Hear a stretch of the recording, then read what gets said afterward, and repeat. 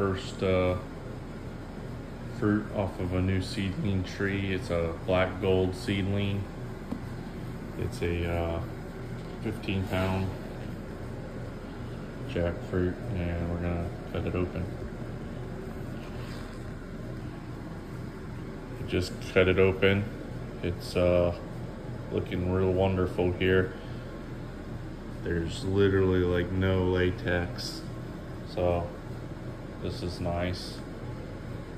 All right, so here's the uh, black gold seedling processed out. We've got it all cleaned up. It was very enjoyable. There was no latex. Um, it has these very large arils.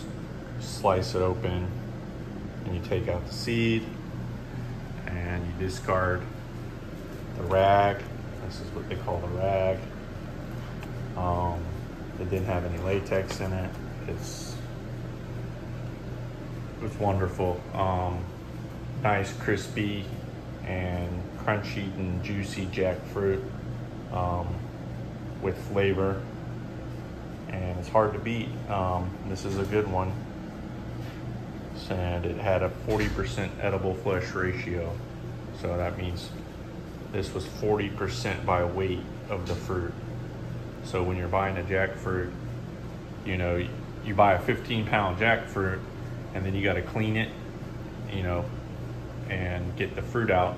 And what you have left is kind of what you're really paying for, the edible portion of it. So you want that edible portion to be high as possible and you want it to be um, easy to clean and easy to deal with. You know, you don't want to have a sticky mess um, processing out a big old jackfruit and creating latex everywhere and gumming up your knives. And if you ever dealt with those types of jackfruits, you would you you know that you don't want to deal with them. So we're trying to you know breed for these low latex, easy peel jackfruits, and this is um this is a winner here. So uh, we'll probably have them available um, in the future.